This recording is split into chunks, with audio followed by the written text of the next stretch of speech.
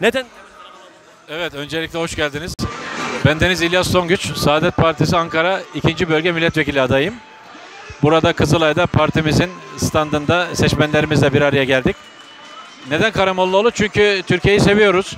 Yaşanabilir bir Türkiye'yi, yeniden büyük Türkiye, yeni bir dünyayı hak ve adalet temelinde kurabileceği için ülkemizin ekonomik anlamda sıkışmışlığından, faizci politikalardan kurtaracağı için, önce ahlak ve maneviyat bayrağını açtığı için ve bölgemizde büyük bir kargaşa var. Irak parçalandı, Suriye parçalandı. Şimdi İran üzerine operasyonlardan bahsediliyor ve Orta Doğu'da her petrol kuyusuna bir devletçi kurma temelinde planlar hızla yürüyor. Bu planları alt üst ederek yerli, milli politikaların ve özellikle izzetli ve şahsiyetli bir dış politikanın uygulanması, ülkemizde üretimin artırılarak faizci politikalardan kurtarılması buna en iyi reçeteyi sunabildiği için elbette Karamollaoğlu diyoruz. Teşekkür ederim başkanım. Neden Temel Karamollaoğlu? Efendim e, Mehmet Baloğlu ikinci bölgeyim, ikinci bölge adayı. Neden Karamollaoğlu? Çünkü Türkiye kamplaşmış durumda son iktidarın döneminde.